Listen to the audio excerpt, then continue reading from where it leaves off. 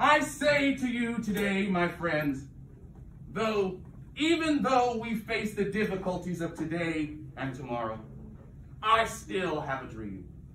It is a dream deeply rooted in the American dream. I have a dream that one day this nation will rise up, live out the true meaning of its creed.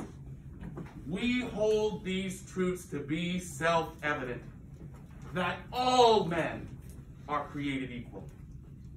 I have a dream that one day on the red hills of Georgia, sons of former slaves and sons of former slave owners will be able to sit down together at the table of brotherhood.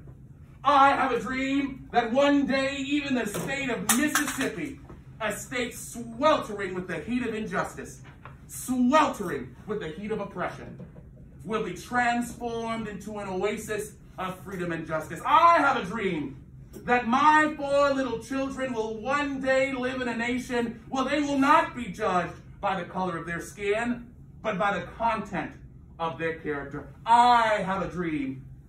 I have a dream that one day in Alabama, with its vicious racists, with its governor having his lips dripping with the words of interposition and nullification, one day right there in Alabama, little black boys and little black girls will be able to join hands with little white boys and little white girls as sisters and brothers. I have a dream today. I have a dream that one day every valley shall be exalted, every hill and mountain shall be made low, these rough places be made plain, and the crooked places be made straight. And the glory of the Lord shall be revealed, and all flesh shall see it together. This is our hope. This is the faith that I go back to the South with. With this faith, we will be able to hew out of the mountain a despair of hope, a, stone of hope. With this faith, we will be able to transform the jangling discords of our nation into a beautiful symphony of brotherhood. With this faith, we will be able to work together, to pray together, to struggle together, to go to jail together, to stand up for freedom together, knowing that we will be free one day. This will be the day when all of God's children will be able to sing with new meaning.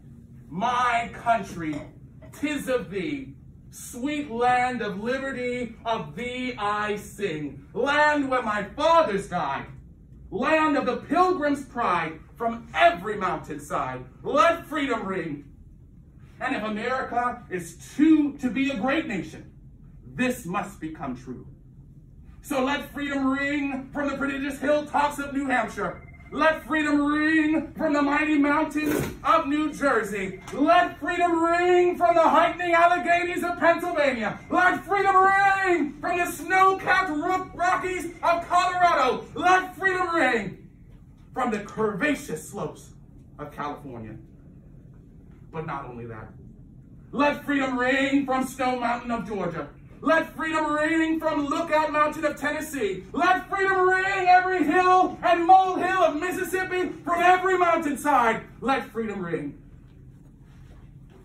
When we allow freedom to ring, when we let it ring from every city and every hamlet, from every state and every city, we will be able to speed up that day when all of God's children, black men and white men, Jews and Gentiles, Protestants and Catholics, will be able to join hands and sing in the words of the old Negro spiritual, free at last, free at last, great God Almighty, free at last.